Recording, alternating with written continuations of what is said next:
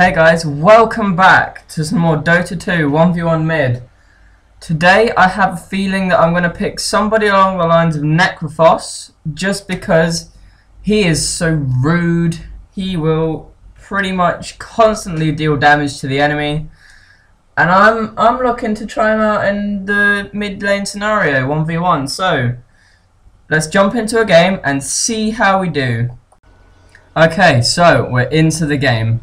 Now, as I've already said, I think I'm going to be picking Necrophos for this job. So you can see here this very green looking chap. This is who I'm going to be picking today.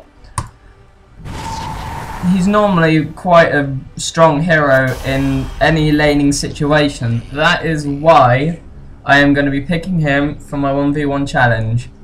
He deals constant damage with one of his abilities and we're going to try and utilize that to give us the lane dominance we need. Righty then, so today's opponent is Outworld Devourer. Now, this is a that is a hero that would normally be put into the mid lane and can be really, really quite powerful there. He basically sort of messes with your mana. He removes your intelligence stats and that reduces your mana pool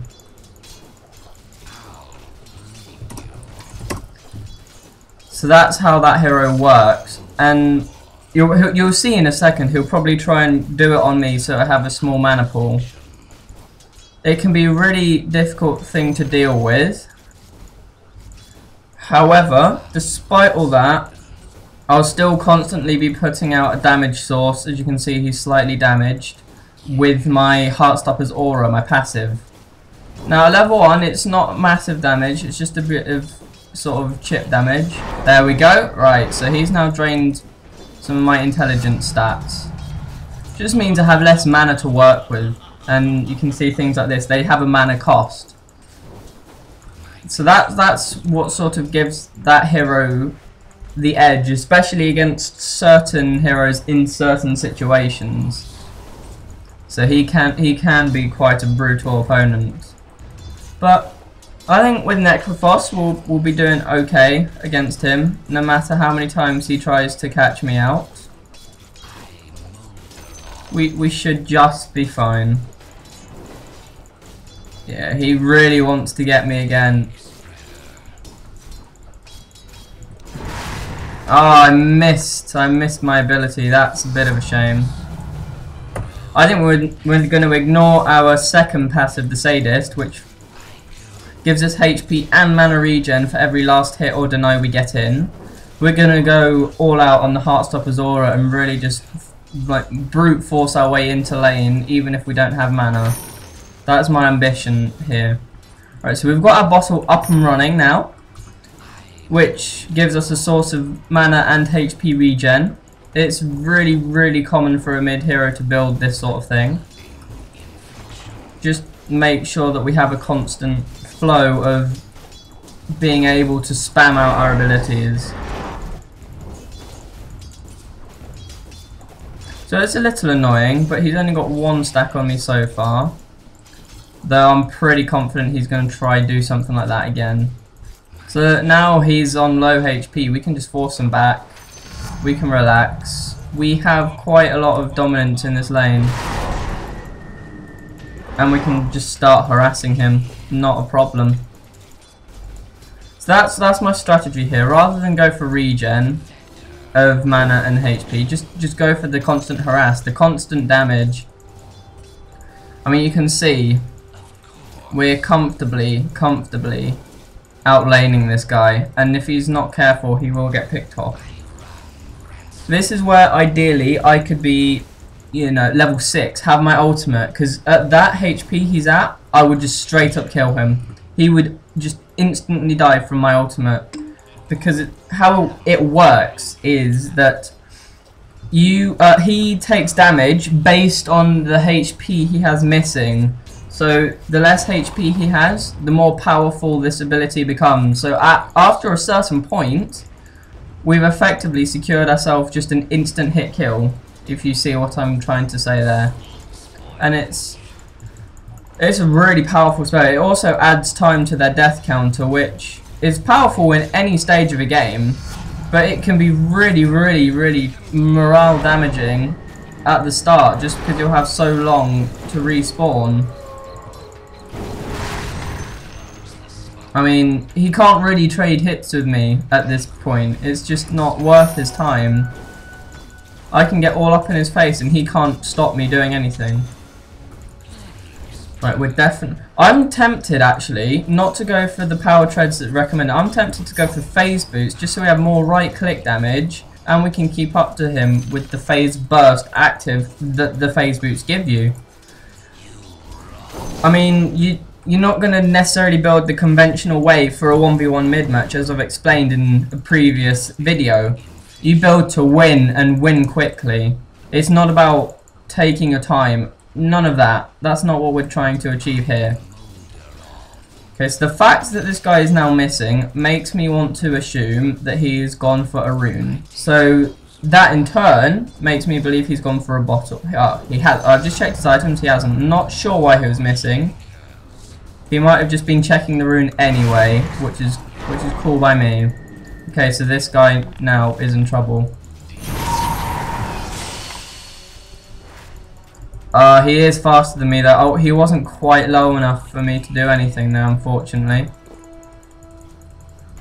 My ultimate just... I wasn't quite at the threshold, and now it's on cooldown. I'm a bit annoyed. I should have maybe waited, but hey ho. Forcing him back to base, I'm not in too much of a worry about that. Just means we can sit in the lane here, we can gather more last hits, therefore more money, and more XP, which makes us stronger. And he he has to meanwhile just go back, heal up, spend money to TP and or waste more time um, by walking back, and he's not getting this XP and money. Right, so now he's back to lane. Little annoying. You can chase me down if he wants. I shouldn't be in too much of a situation there. Though he has now pretty much grabbed the top rune and I can't contest that. So we're going to venture down to the bot lane. To the bot rune, I beg your pardon. See if he's not taken up. Okay, invis. Invisibility rune, that's big. That is a big, big, big rune to be having right here. It means we can really pretty much catch him out with the element of surprise. I'm assuming now he's hit level 6, I want to say. 7. Oh, wow. Oh, now, that isn't the best. I didn't really expect him to be that far ahead of me, in all honesty. It is, however, what it is. I cannot do anything about it. I'm 2 level 7. So pretty pleased with that. I don't know. I'm not sure which way this is going to quite spin. Okay, so now that I'm in this, he's probably just going to back up all the way.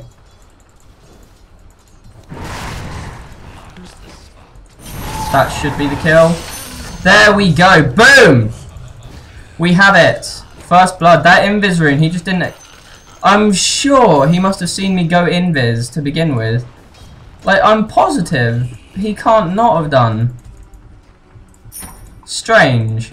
Strange. Anyway. We are now really in a in the driving seat position here. This is exactly what we were looking for, to get that, that first one. And look how long he's dead for. It's only 8 minutes into the game and he's dead for so long already. We can just pressure his tower. he's, he's fortified his tower, he's that scared of this. Because he's out for just that long a time. Right, so we've got our phase boots now, which means for a burst, we can... Oh, haste rune here, that's big. We can run out max move speed once we activate that and hopefully we can catch him out again with that, so... No, but with the phase boots, it just allows a temporary speed burst every so often, which will allow us to keep up with him, because he does have a better movement speed than me, normally. But, with the phase, we should be keeping up with him and dealing that damage. Keeping close to him, just keep annoying him. Obviously, if he does keep doing that, I will be in a bit of bother. As it, because I won't have the mana to actually pull off my spells. So I don't want to get caught out too often. However, though, we do have our ultimate up and ready again. He's just not low enough for me to be able to pounce. But him staying in lane with me, don't worry. I'm Heartstopper's Aura will get the job done. I mean, look, he's just come back and look how quickly his HP has dropped. It's quite crazy. Yeah, it's one of the better passes in the game, in my opinion. And I'm sure a lot of people who play this game frequently will agree with me there. Anyway, we can now go ahead and max out the Heartstopper's aura. Means now it is at its maximum efficiency.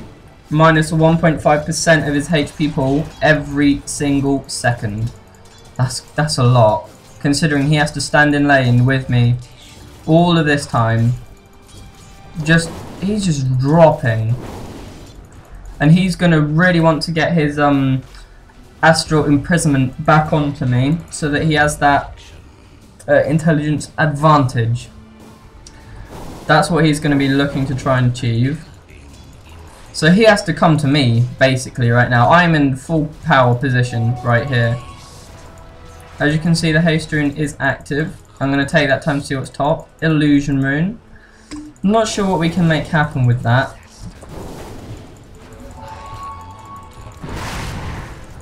I'm going for this. We should have this. Boom! There we go. The two runes just absolutely caught him out. Oh, yes, indeed. Well, what a... What an easy win, in all honesty. I mean, I knew what I had to do. I knew what he needed to do, and just worked around that, pretty much. And in the end, quite easily outlaned him. So there you go, there's the power of Necrophos in the mid lane, despite coming up against regular mid lane heroes. Anyway, that is all for today. Thank you very much for watching. If you did enjoy this episode, please leave a like and leave any feedback that I could use to improve my videos in the future. Thank you very much. Take care.